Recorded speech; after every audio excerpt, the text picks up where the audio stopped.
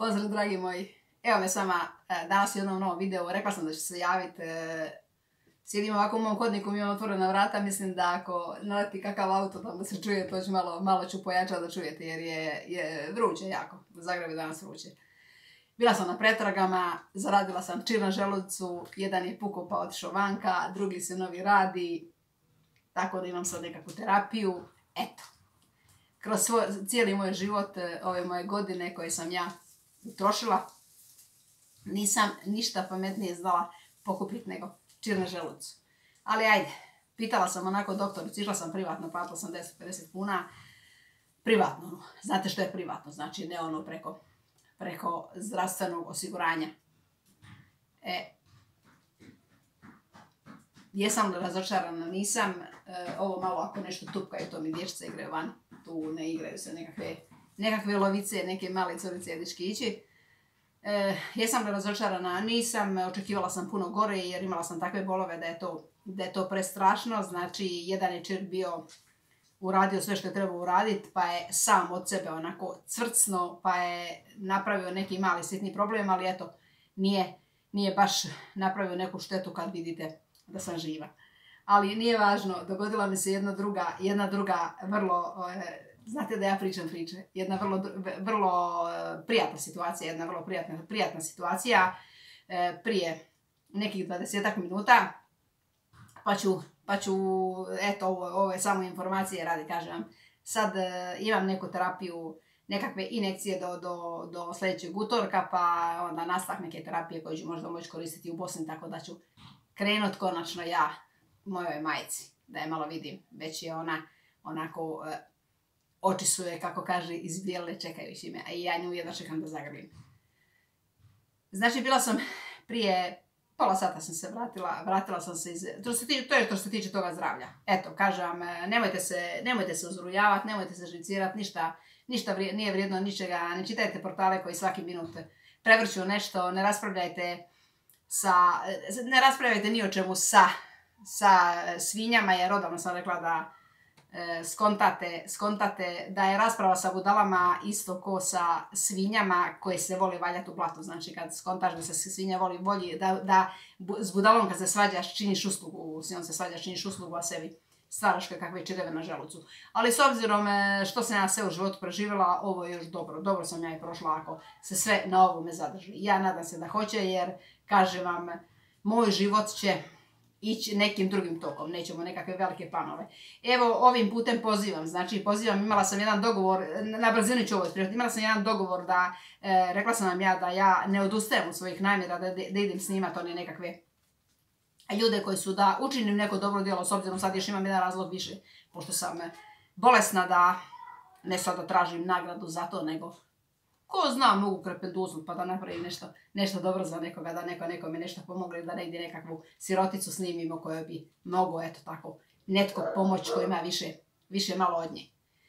Uglavnom, eh, molim eh, ljude, ne znam ja, u, u Sisku, u Petrinji, tamo gdje je bio potres. Eh, molim ljude, imala, imam jednog prijatelja koji je rođen u Briševu, rekao mi je da će, da će mi napraviti uslugu, da će me on odvesti u Briševo da snimim Briševo tamo ono selo u, u Bosni i Hercegovini. Molim e, neke ljude koji, eto, ako imaju kakvu volju, e, primiti me recimo da dođem u, u Bratunac, u Kravice, e, otišla bi do malo do Srebrenice, otišla bi na nekakve, dok napravila bi sebi nekakav plan pa bi jednostavno ovaj moj YouTube kanal posvetila tako nekakvom nekakvom onako više nekakvom humanitarnom radu i razotkrivanju, razotkrivanju nekakvih, e, nekakvih e, ljudi do kojih, e, razotkrivanju nekakvih stanja ljudi do kojih niko, nitko ne dolazi. Eto, to bi bila nekakva moja misija za dalje, da ne pričam, a usput ja vama uvijek ispričat neku priču, jer ja, kako onaj meni kaže, kad nemam nikakvu priču, ja sam specijalista za izmisliti priču,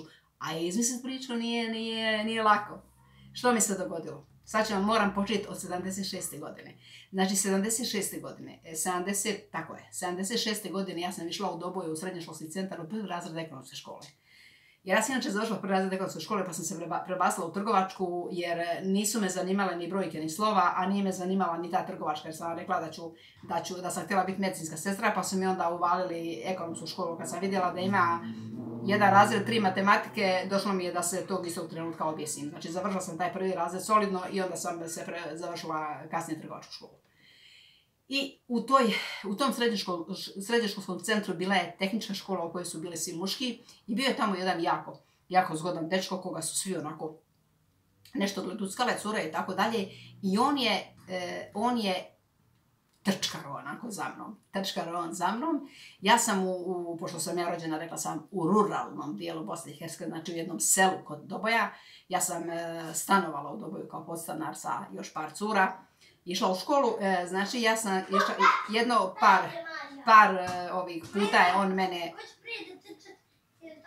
Luka! Luka! to mi od kume onu htjela sam reći da se malo makli da kuma snima, da ne zatvara vrata jer mi vruće. Uglavnom je, e, on je, men, on je kao nešto mene snimio, tako, imala sam 16 godina. Ne mislite kako neko izgleda sa 16 godina. Je bio dosta zgodan momčić onako, ali stariji od mene. Ja sam imala tada prvi razred ekonomske škole, a on je išao treći tehnički, građevinsko, čiji se bila građevinsko-tehnička škola. I on je mene tako prapkio.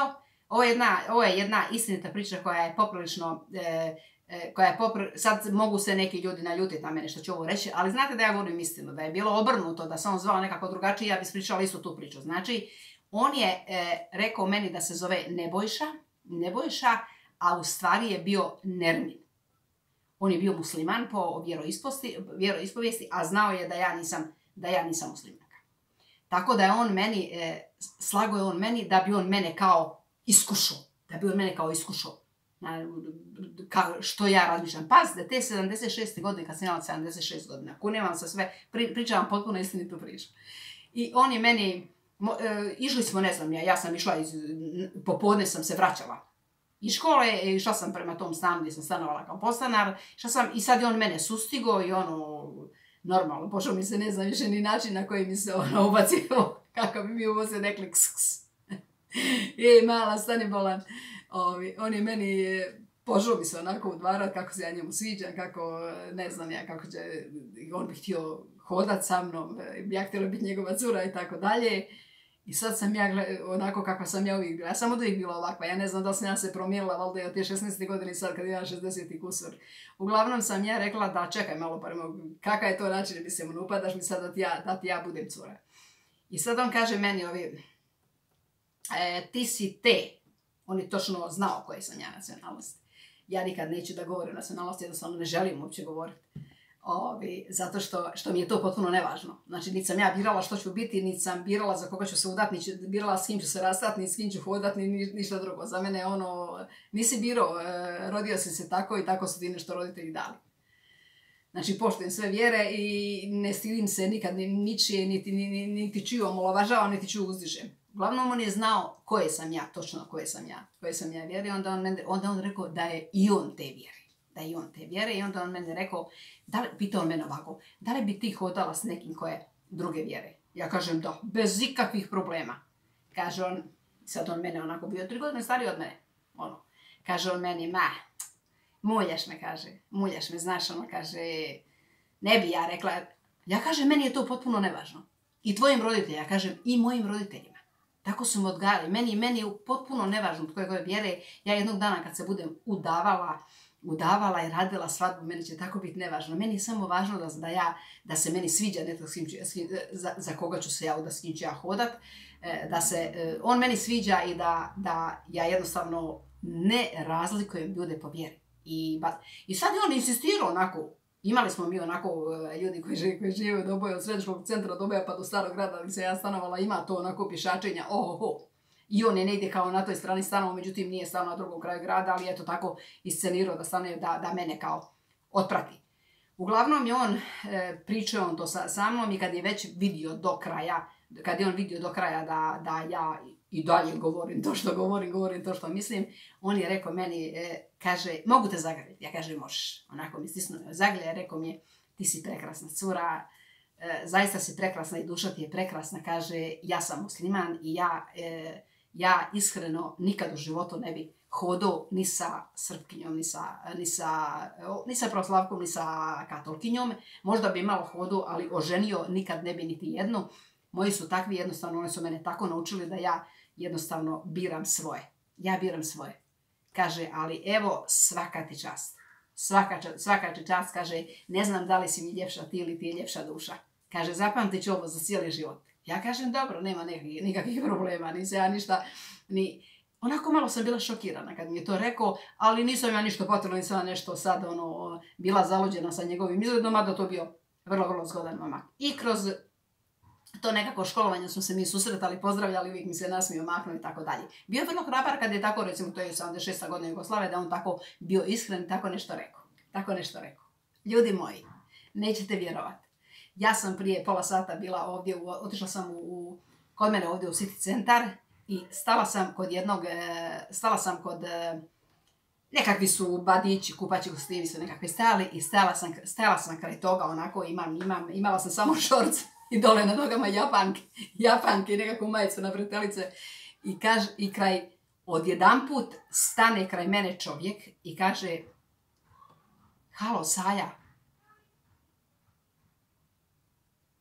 I sad ja se okrenem. Ja se okrenem i gledam i ne znam ništa. Ne znam. Kažem ja, halo. Kaže, ti si Saja, da kaže, gled... I sad ja odmah idem na moj YouTube. Idem na YouTube. Sad, meni kad neko kaže da me gleda preko YouTube-a, ja ne znam ko će li mi upaliti šamarčinu, će mi reći mu se sviđa ono što ja pričam, jer ovo što ja pričam, masa ljudi se ne sviđa. Koliko sam ja prijetnji dobila za moje priče, Bože sačuvaj. Bože sačuvaj. I sad on meni kaže, e, kaže, e, ja sam tebe prepoznao. Kaže, ti si iz Doboja. Ja, kaže, ja kažem općina Doboj. Rođena sam općina Doboj, ali nisam ja iz Doboja. Kažem, e, moje selo je tamo kod Doboja. Dobro, dobro, nema veze, ali si išla nekad davno 76. godine u Doboju školu. Ja kažem, jesam, išla sam u Doboju školu. Kaže on meni, ja sam, ne znam da li sam na početku ovog videa, sad sam zaboravila sam na početku ovog videa, rekla da on meni na početku rekao da se on zove Nebojša, a zvala se Nermin. Kaže on meni, ja sam onaj Nermin, odnosno Nebojša, koji te pratio, kaže, od srednjoškolskog centra do, do ovoga, ka, kaže, do srednjoškolskog centra, kaže, do, do, e, do starog grada u Doboju. Ljudi moji, ja sam ostala bez teksta. Ja sam ostala totalno bez teksta. Ja sam gledala u njega i, i ja sam njega tad prepoznala.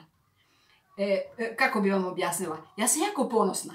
Ja imam, znači, ja sam 76. godine, do, mi smo se negdje viđali možda do, do onog, kroz, kroz, kroz školu, negdje do 77. godine i gotovo. Znači, mene više nikad nije vidio. A prepoznao me. Znači, ipak se ja držim da me možeš još uvijek prepoznati da nisam izgubila ove moje, ove moje konturi lica i da nisam izgubila taj svoj nekakav kaže on, odmah sam te prepoznao, kaže, ja sam pitala tamo ove cure nešto koliko košta, kaže, čak i boju glaza sam te poznao. Čak kaže, odmah sam te prepoznao, tog istog trenutka sam te prepoznao. Uglavnom, da vam skratim priču, otišli smo na kavu. Dvoje smo otišli na kavu. To je jedan, jedan sad čovjek koji poprilično dobro izgleda i sad poprilično dobro izgleda, nije izgubio kosu, lijepo je kratko šišan, nema prerezanu obrvu. nema prerezanu obrvu, a i da ima prerezanu obrvu, on, on, on je takav, on voli, kaže, samo svoje. E, sad više ne voli samo svoje. Kaže on meni ovi, da odemo, da odemo kao na kavu. Otišli smo, otišli smo na kavu i počeli smo nekakvu priču. Uglavnom, rastao se, ima dvoje djece, oženio je ženu svoju nije ni proslavka, ni katolkinja. Oženio je svoju i, rastao se. Rekla sam, ne bojiš, a Nermine moj, gdje je zapelo, kaže on.